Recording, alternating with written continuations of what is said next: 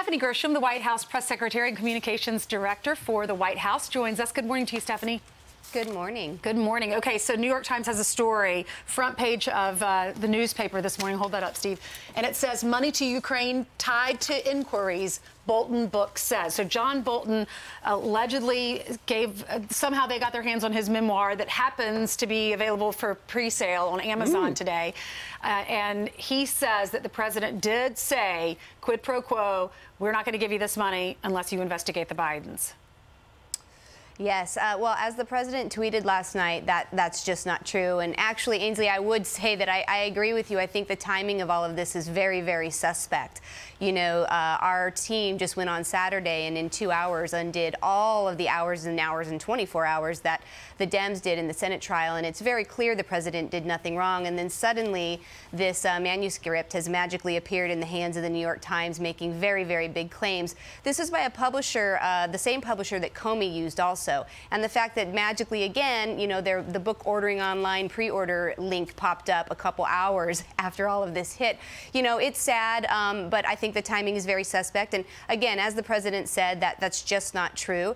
The president did nothing wrong, and we stand by exactly what we've been saying all along and exactly what the transcript has been showing all along. Right. And uh, of course, uh, it was on uh, December 30th that Bolton sent the transcript to the National Security Council for review, see if in, there's any secret stuff in there. Obviously, I, I, I, would imagine the White House could could snip out any part they wanted to. Uh, do you know anything about that? Any upcoming edits that might happen? No, uh, that is something that we have kept walled off for obvious reasons. Just could be a conflict with the trial going on. So mm -hmm. it's mm-hmm. nothing that I've seen and nothing that I know about in terms of what they would remove for national security. Now, I don't know if they have done anything, if they have made any edits yet for the national security, and if there's any classified information out there. But if there is, that's a very, very dangerous mm. precedent to set once no again. The, the, president, yeah. uh, according to this uh, excerpts in this book with John Bolton, who's a contributor here and has always been upstanding uh, and very candid, if nothing was, else, and was honest. A contributor. Was a contributor. Uh, but he also says that Rudy Giuliani may be working for his per, for personal business in the Ukraine. Would that change? Uh, would the president know anything about that, and would that change uh, his opinion of Rudy Giuliani if that to be to be the case?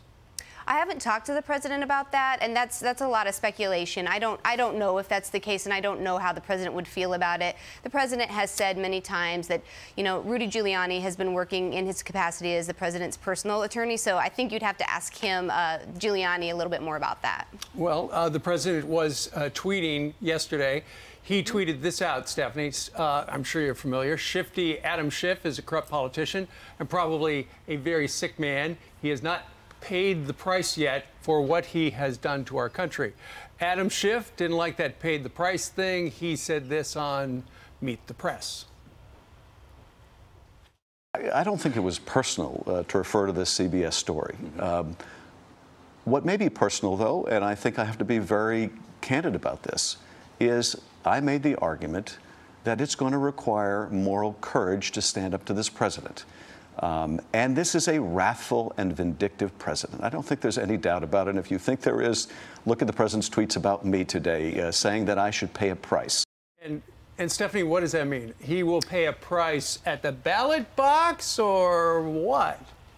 Yeah, I think that it's uh, Schiff has shockingly thin skin if he thinks that that was any kind of a threat from the President of the United States. And I just said this yesterday. Yes, I believe that it means that there will be consequences with the American people and at the ballot box. You know, talking about standing up to, you know, for moral reasons to the President, that doesn't equate with impeachment. That doesn't equate with any crimes. You don't impeach a President because you disagree with him morally or via policy. So I think he's got some thin skin there. I think he was grandstanding once again. And, you know, know, playing the pity card that he just got threatened mm. by the president is just, I think people see through that.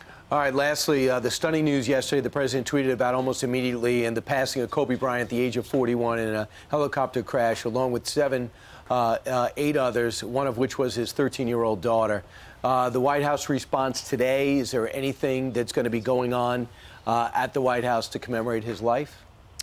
You know, I, I, will say that on behalf again of the president and the first lady, both of them tweeted about it, and the entire administration.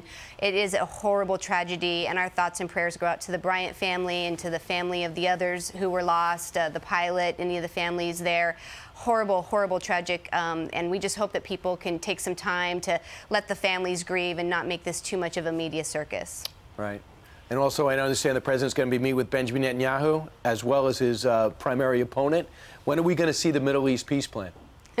yes, he's going to meet with both of them today. You know, this is probably quite literally one of the biggest problems to take on in the entire world. And here we've got a president who is not afraid to do it and is already, I think, gone farther than any other administration to make this happen. So I'm not going to get ahead of anything that may or may not happen, but I think the fact that they are both going to be here and he's going to meet with both of them is huge news. And big kudos to the president for all that he's done here. Okay. Thank you, Stephanie. Thanks for being with Thank us. You. Thank You're you welcome. very much.